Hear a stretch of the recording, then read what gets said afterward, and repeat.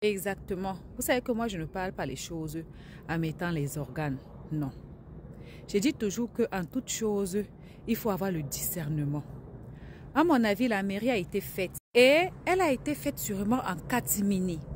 Catimini, pourquoi? Catimini pour cacher euh, le régime matrimonial, pour cacher aussi, qu'est-ce qu'on appelle le genre? Parce que de toute façon, s'il y a un régime matrimonial certain, il ne peut y avoir que bien séparé. C'est pour ça qu'on a, on a dû faire en amont. Maintenant, la cérémonie laïque, toute personne peut la faire. C'est-à-dire que toute personne peut diriger une cérémonie laïque. Un ami, un frère, on n'est pas obligé d'avoir une formation pour ça.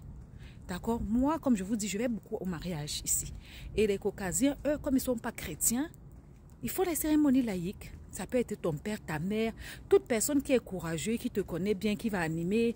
Bref, après, il y a des personnes qui sont formées pour ça. Mais on n'a pas besoin d'un diplôme, étant donné que c'est une cérémonie qui n'est pas reconnue.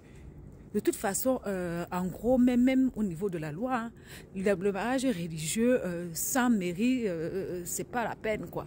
Un peu.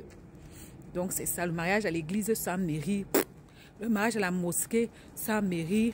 C'est un peu pour ça que j'étais de disance que, de toute façon, quand je vois les gens dire la cérémonie, non, c'est une cérémonie qui est faite pour remplacer la cérémonie religieuse.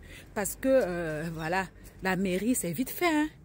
Oui, la mairie, euh, c'est 15 minutes, maxi 30. Hein? Donc, voilà, bisous, bisous.